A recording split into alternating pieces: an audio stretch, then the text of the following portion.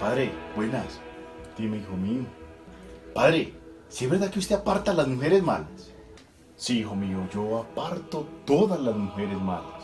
Padre, me va a apartar tres para el sábado que necesito. Las mujeres malas.